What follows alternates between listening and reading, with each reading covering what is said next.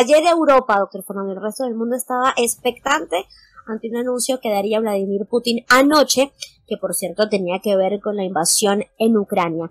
Les cuento que el presidente ruso se dirigió a la nación en un mensaje televisado y anunció, doctor Fernando, lo que él llama una movilización parcial de los rusos en edad de combatir.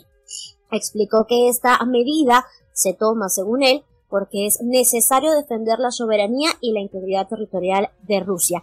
El eh, presidente ruso, doctor Fernando, también explicó que solo serán llamados a esas filas para, o a esa movilización parcial los reservistas que hayan cumplido el servicio militar obligatorio en Rusia. Esto era una propuesta del Ministerio de Defensa y que ha sido apoyada por Putin, pues eh, quien haya cumplido obviamente servicio militar tiene una experiencia pertinente. Sin embargo, quienes sean reclutados recibirán capacitación adicional.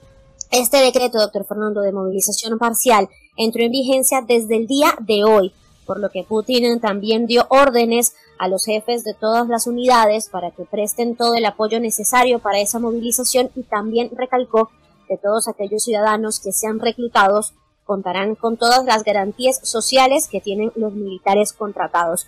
Pero no solo anunció movilización parcial para los reservistas, sino que el decreto también da directriz, doctor Fernando, para los ministros y las empresas de la industria de defensa que tendrán que aumentar la producción de armamento y también desplegar más capacidades de producción. Recordemos que es conocido que Rusia se está quedando sin armamento, se lo ha pedido a China, pero pues China se lo ha negado, le ha negado esta ayuda y también trascendió, lo hemos dicho aquí en la hora de la verdad, que fue a pedir ayuda militar a Corea del Norte, pero no se ha confirmado, doctor Fernando, si finalmente recibirá algún apoyo de ese país. El ministro de Defensa ruso, Sergei Shoigu, anunció también ayer que en el marco de lo anunciado por Vladimir Putin se llamará a filas a 300.000 reservistas para reforzar las tropas rusas en Ucrania, pero él dice que esta cifra representa solo una pequeña parte del número de personas que son movilizables en el país. Doctor Fernando, sin duda, esta nueva estrategia de Vladimir Putin es una respuesta al avance de las tropas ucranianas que están recuperando su territorio, demostrando, eso sí, que habrá una escalada en la guerra en Ucrania. Mientras tanto, el presidente ucraniano Volodymyr Zelensky dijo en su mensaje diario a la nación que la situación en el frente indica claramente que la iniciativa le pertenece a Ucrania y que continúan en este momento con medidas de estabilización en las áreas liberadas por la ocupación rusa. Ah, María, por Dios.